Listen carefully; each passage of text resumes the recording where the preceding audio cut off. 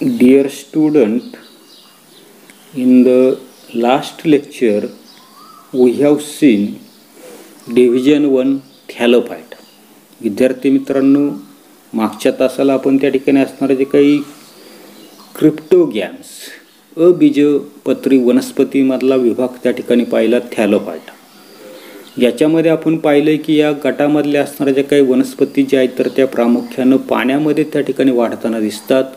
मुळं खोड पान फुलं अशी विशिष्ट आवय त्या ठिकाणी नसतात. त्याच्यामध्ये हरितद्रव्य असतं आणि म्हणून त्या ठिकाणी स्वयंपशी असतात. आणि हा जो काही वनस्पतींचा जो काही गट जो आहे तर त्या गटालाच आपण त्या ठिकाणी शाईवाल त्या ठिकाणी म्हटले.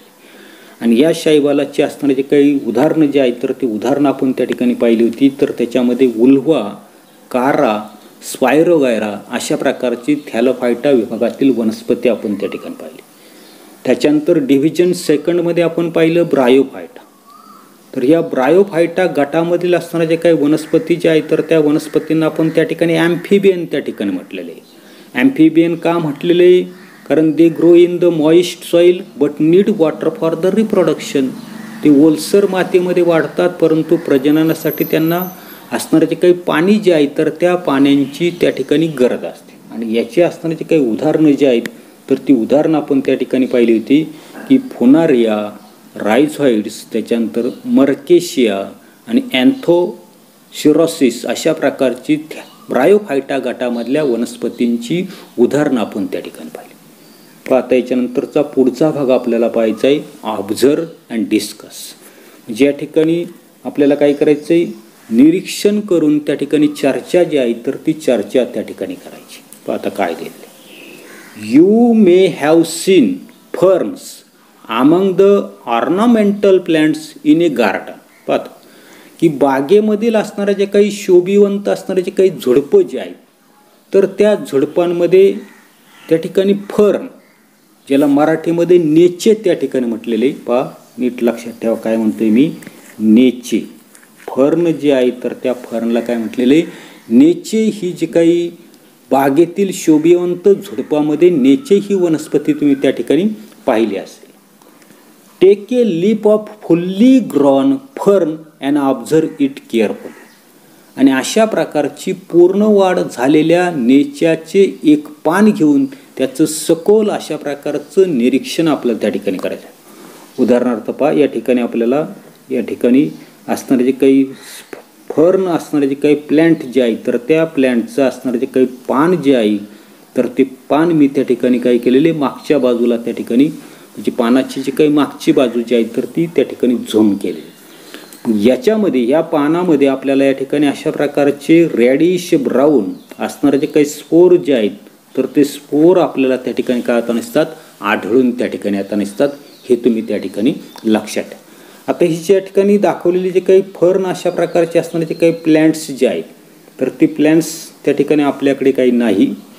तर या ठिकाणी असणारे जे काही विशिष्ट अशा प्रकारचे असणारे जे काही प्रदेश जे आहेत विभाग जे आहेत भाग जे आहेत तर त्याच्यामध्ये अशा प्रकारच्या वनस्पती जे आहेत फर्नसारखे असणारे जे काही वनस्पती जे आहेत तर ती वनस्पती आपल्याला त्या ठिकाणी आढळून येताना दिसते पाहता या ठिकाणी थर्ड डिव्हिजन आपल्याला पाहायचं आहे तर त्या थर्ड डिव्हिजन जो आहे आता थर्ड डिव्हिजन पहा नीट लक्षात ठेवा. काय म्हटलेलं आहे?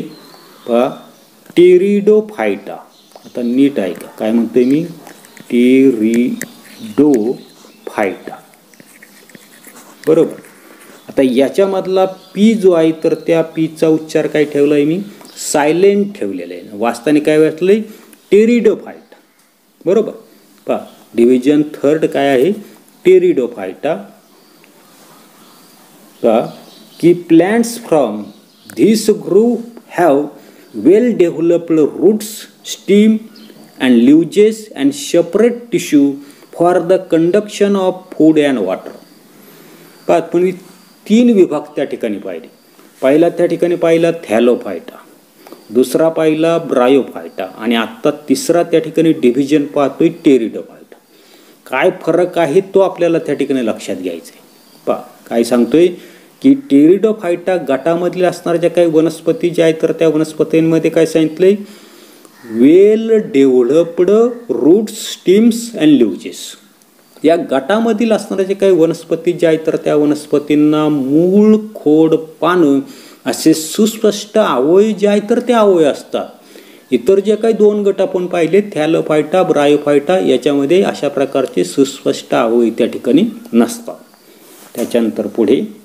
आणि काय सांगितलेलं? आहे separate tissue for the conduction of food and water पाणी आणि अन्न वहनासाठी स्वतंत्र अशा प्रकारच्या असणाऱ्या ज्या काही ऊती ज्या आहेत तर त्या ऊती त्या ठिकाणी असतात. परंतु पुढे सर्वात महत्त्वाचं दिलेलं. आहे but they do not bear flower flowers and fruits असं जरी असलं तरी यांना फुलं फळं येत नाही. येते तर आता पुढे. पाहता याच्यानंतर पुढे. काय पाहिलं आपण त्या ठिकाणी? की separate tissue for the conduction of food and water but they do not bear flowers and fruits पा की या गटामध्ये असणाऱ्या ज्या काही वनस्पती ज्या आहेत तर त्या वनस्पतींना पाणी आणि अन्न याचं वहन करण्यासाठी स्वतंत्र अशा प्रकारच्या उती असतात पण यांना फुले फळे त्या ठिकाणी येत नाही आणि म्हणून पा पुढे काय सांगितले? There reproduce with the help of the spores formed along the back or posterior surface of their leaves आणि म्हणून ही जी काही वनस्पती जी आहे तर त्या वनस्पतीची असणारी काही पानं जी आहेत तर त्या पानांची असणारी जी काही मागची बाजू पा या ठिकाणी आकृती जी आहे तर त्या आकृतीमध्ये काय केलेलं आपल्याला पान जे आहे तर त्या पानाची मागची बाजू त्या ठिकाणी दाखवलेली. आणि त्या पानाच्या मागच्या बाजूमध्ये आपल्याला अशा पद्धतीचे असणारे जे काही स्पोर्स जे आहेत ज्याला आपण त्या ठिकाणी काय म्हटलेले बीजाणू जे आहेत तर त्या बीजाणूंच्या मार्फत त्यांचं असणारं जे काही प्रजनन जे आहे तर ते प्रजनन त्या ठिकाणी होताना दिसतं. येते त्याच्यानंतर पा पुढे. Examples are ferns like Nephrolepis Marsilea त्याच्यानंतर पहा टेरिस नीट ऐकायचे. पहा काय म्हटलं मी? टेरिस पीचा उच्चार काय केला आहे सायलेंट त्या ठिकाणी केलेला आहे. त्याच्यानंतर एडी ॲटम पहा काय म्हणतो आहे मी? एडी ॲटम त्याच्यानंतर इक्विसेटम त्याच्यानंतर सिलॅनजिनिल्या पुन्हा एकदा ऐका. काय म्हणतोय मी? सिलॅजिनेला त्याच्यानंतर लायकोपोडियम अशी सर्वच्या सर्व आपल्याला त्या ठिकाणी टेरिडोफायटा हा जो काही गट जो आहे तर त्या टेरिडोफायटा घाटामधल्या वनस्पतींची असणारी जी काही नावं जी आहेत तर ती नावं आपल्याला त्या ठिकाणी सांगता येतील. पहा पुन्हा एकदा पहा. या ठिकाणी छोटीशी त्या ठिकाणी आकृती त्या ठिकाणी पाहता काय दिलेली तर या ठिकाणी ही जी आहे तर ती आपल्याला त्या ठिकाणी फर्न प्लॅन्ट आहे. बरोबर?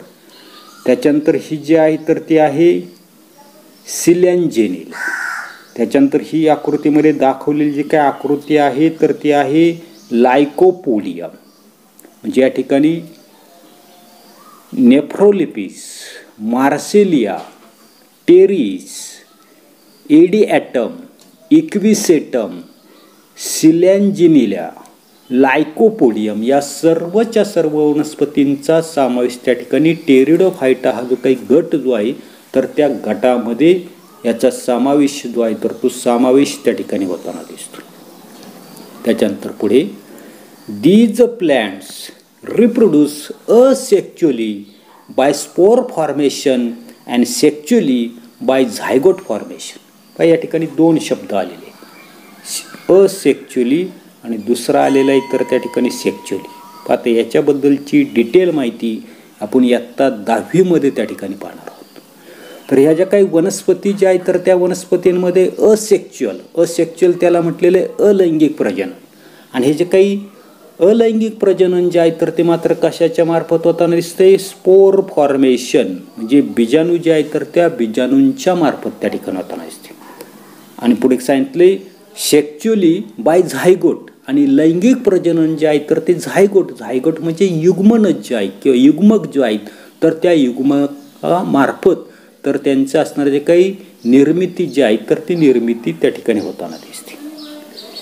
They have a well developed conducting tissue या गटामध्ये असणाऱ्या ज्या काही वनस्पती ज्या आहेत तर त्या वनस्पतींमध्ये सुस्पष्ट अशा प्रकारच्या सहवाहिनी अशा प्रकारच्या असणाऱ्या ज्या काही संस्था ज्या आहेत तर त्या संस्था आपल्याला त्या ठिकाणी आढळून येतात पण त्याच्यानंतर काय प्रश्न विचारले की यूज युअर ब्रेन पॉवर जरा डोकं त्या ठिकाणी चालवायचे. पहा काय सांगितले की what is the similarity between the plants of the group Thallophyta Bryophyta Pteridophyta irrespective of differences in their body structure आता काय सांगितलं.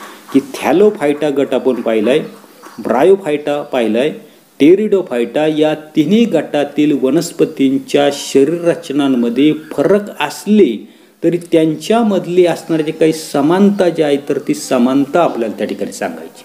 तर आता काय सांगता येईल? पहिलं की Thallophyta Bryophyta Pteridophyta reproduction occurs through spores या तिन्ही गटामधल्या असणाऱ्या ज्या काही वनस्पती ज्या आहेत तर त्या वनस्पतींमध्ये घडून येणारं जे काही रिप्रोडक्शन जे आहे तर ते रिप्रोडक्शन कशाच्या मार्फत होताना दिसते तर स्पोर्स जे आहेत बीजाणू जे आहेत तर त्या बीजाणूंच्या मार्फत त्या ठिकाणी घडून येताना दिसतो. हा त्याच्यामधलं त्या ठिकाणी काय आहे? तर त्या ठिकाणी सिमिलॅरिटी त्या ठिकाणी त्याच्यानंतर पुढे. The bodies of this plants of this group lack reproductive system and therefore they are cryptogams cryptogams पा या तिन्ही गटामधील थॅलोफायटा ब्रायोफायटा टेरिडोफायटा या तिन्ही गटामधल्या असणाऱ्या ज्या काही वनस्पती ज्या आहेत तर त्या वनस्पतींमध्ये रिप्रोडक्टिव्ह सिस्टीम प्रजनन संस्था ज्या आहेत तर त्या प्रजनन संस्थेचा अभाव त्या ठिकाणी असतो. आणि म्हणून काय सांगितलेले? दे आर कॉल्ड क्रिप्टोगॅम आणि म्हणूनच त्यांना काय म्हटलेले? अबीजपत्री वनस्पती त्या ठिकाणी म्हटलेले. तिसरं आपल्याला सांगता येईल पहा की lack of reproductive system is common in all three groups तिन्हीच्या तिन्ही असणारे जे काही गट जे आहेत विभाग जे आहेत थॅलोफायटा प्रायोफायटा टेरिडोफायटा या तिन्हींमध्ये त्या ठिकाणी असणारे जे काही प्रजनन संस्था ज्या आहेत तर ती प्रजनन संस्था तिन्हींमध्ये त्या ठिकाणी काय असते? Lack L S C K म्हणजे काय? त्याचा अभाव जो आहे तर तो अभाव त्या ठिकाणी असतो. आणि म्हणून आपल्याला या ठिकाणी थॅलोफायटा असेल ब्रायोफायटा असेल टेरिडोफायटा असेल या तिन्ही गटांमधील वनस्पतींच्या शरीररचनामध्ये फरक जरी असले तरी अशा बाबतीमध्ये त्यांच्यामध्ये आपल्याला समानता जी आहे तर ती समानता त्या ठिकाणी काय होताना दिसते? आढळून येताना दिसते. त्याच्यानंतर पुढे पहा काय दिलेले की all these plants reproduce by spore formation या तिन्ही गटामधल्या असणाऱ्या जे काही वनस्पती ज्या आहेत तर त्या वनस्पतींचं असणारं जे काही प्रजनन जे आहे तर ते प्रजनन आत्ता आपण पाहिलं कशाच्या मार्फत होता नसतं तर त्या ठिकाणी असणारं जे काही बीजाणू जे आहेत तर त्या बीजाणूंच्या मार्फत त्या ठिकाणी होताना दिसतं. They are called cryptogams as they reproductive organs cannot be see कारण ज्या गटामधल्या असणाऱ्या ज्या काही वनस्पती ज्या आहेत तर त्या वनस्पतींच्या शरीरातील असणाऱ्या जे काही प्रजनन संस्था ज्या आहेत तर ते काय सांगितली? कॅनॉट बी सीन म्हणजे अप्रकट आहे. ते आपल्याला त्या ठिकाणी दिसत नाही. आणि म्हणून त्यांना काय म्हटलेलं आहे? क्रिप्टोगॅम्स अबीजपत्री. किंवा त्या ठिकाणी पाहत क्रिप्टोगॅम्स पहा काय शब्द आहे? C R Y P T O gams अशा प्रकारचा शब्द त्या ठिकाणी. आता याच्यामधला असताना तो काही क्रिप्टो क्रिप्टो म्हणजेच काय म्हटलेलं आहे? हिडन आता हिडन म्हणजेच काय? तर लपलेला. आणि या ठिकाणी गॅम्स गॅम्स म्हणजे काय म्हटलेले? Reproductive organs. म्हणजे लपलेली प्रजनन अंगी असणाऱ्या ज्या काही वनस्पती ज्या आहेत तर तिलाच म्हटलेलं आपण त्या ठिकाणी काय म्हटलेले? क्रिप्टो गॅम्स त्या ठिकाणी म्हटलेले. येते? त्याच्यानंतरचा पुढचा आपल्याला विभाग जो पाहायचा आहे पा विभाग नाही तर या ठिकाणी आपल्याला फिनरो गॅम्स आहे. आता फिनरो गॅम्स याला म्हटलेलं आहे बीजपत्री. पाहत. की plants which have special structure for reproduction and produce seed are called phanerogams आता की ज्या वनस्पतींमध्ये प्रजननासाठी विशिष्ट ऊती असून त्या काय करता नसतात प्रोड्यूस सीड बिया ज्या आहेत तर त्या बिया त्या ठिकाणी निर्माण करताना दिसतात. त्या वनस्पतींनाच काय म्हणतो आपण? फिनरोगॅम्स म्हणजे बीजपत्री त्या ठिकाणी म्हणतो. In these plants, after the process of reproduction, seeds are formed which contain embryo and store food की? हा जो काय असणारा जो काही फिनोरॅग्राम गटामधल्या असणाऱ्या जे काही वनस्पती जे आहेत तर यांच्यामध्ये प्रजनन प्रक्रियेनंतर काय होतं नसतं? सीड्स म्हणजे बिया ज्या आहेत तर त्या बिया त्या ठिकाणी तयार होताना असतात आणि पुढे सांगितलेलं आपल्याला विच कंटेन अँड एम्ब्रिओ की ज्याच्यामध्ये भ्रूण त्या ठिकाणी असतो आणि त्याच्यामध्ये काय केलेलं असतं? स्टोअर फूड अन्नसाठा जो आहे तर तो अन्नसाठा त्या ठिकाणी असतो. During germination of seed the stored food is used for the initial growth of the embryo पाहता. की ह्याच्या काही जर्मिनेशन जर्मिनेशन म्हणजे काही बीज आहे तर ते बीजाचं त्या ठिकाणी रुजणं किंवा ते अंकुरणं त्या ठिकाणी म्हणून आपण की बिया रुजताना सुरुवातीचा काही काळ भ्रूणाच्या वाढीसाठी ते असणारे काही फूड जे आहेत अन्न जे आहे तर त्या अन्नाचा त्या ठिकाणी वापर जो आहे तर तो वापर त्या ठिकाणी केला जातो. Depending upon whether seeds are enclosed in a fruit or not phanerogams are classified into gymnosperm and angiosperm आता पुढे काय सांगितलेले की बिया जे आहे तर त्या बिया फळांमध्ये झाकलेल्या नसणं किंवा असणं हे जे काय असणार ते काही कॅरेक्टरिस्टिक्स जे आहेत. तर त्याच्यावरून हे जे काही वैशिष्ट्य जे आहे तर त्या वैशिष्ट्यावरून बीजपत्री असणाऱ्या ज्या काही वनस्पती ज्या आहेत फिनेरोग्रॅम्स जे आहेत तर त्याचं असणारं जे काही वर्गीकरण जे आहे तर ते वर्गीकरण आपल्याला जिम्नोस्पर अँड अँजिओस्पर म्हणजे त्या ठिकाणी अनावृत्त बीजी आणि आवृत्त बीजी अशा प्रकारच्या गटामध्ये त्याचं विभाजन जे आहे तर ते विभाजन त्या ठिकाणी केले आता त्याच्यापैकी पहिला डिव्हिजन आपल्याला पाहायचा आहे तर तो आहे जिम्नोस्पर बघ यासाठी पुन्हा आपल्याला ऑब्झर्व म्हटलेलं. आहे आता काय निरीक्षण करायचे पहा. की observe all garden plants like Cycas Christmas tree hibiscus lily etcetera and compare ते. पा या ठिकाणी बाग जे आहे तर त्या बागेमधील असणाऱ्या ज्या काही वनस्पती ज्या आहेत आता या बागेमधील असणाऱ्या ज्या काही वनस्पती ज्या आहेत पहा कारण त्या तर काय सांगता येईल? पहा की बागेमध्ये असणाऱ्या ज्या काही सायकस वृक्ष किंवा ख्रिसमस ट्री आणि पुढे आपल्याला सांगितलं आहे जास्वंद किंवा लिलीचं रोप अशा सर्व उपलब्ध वनस्पतींचं निरीक्षण करून काय करायचं आपल्याला? कंपॅरिझन जे आहे तर ती कंपॅरिझन त्या ठिकाणी करायची. आणि काय सांगितले पुढे पहा नोट द सिमिलॅरिटी काय काय सांगितलेले? की note the similarity and differences among they आणि या ज्या काही वनस्पती ज्या आहेत तर त्या वनस्पतींमध्ये असणारे जे काही डिफरन्स फरक सिमिलॅरिटी साम्य यांच्या नोंदी ज्या आहेत तर त्या नोंदी त्या ठिकाणी करायच्या. Which difference did you notice between gymnosperm and angiosperm मग आधी पाहिलेल्या ज्या काही अनावृत्त वनस्पती अनावृत्त बीजी वनस्पती आणि या वनस्पतींमध्ये कोणता त्या ठिकाणी फरक आहे हे आपल्याला त्या ठिकाणी पाहिजे.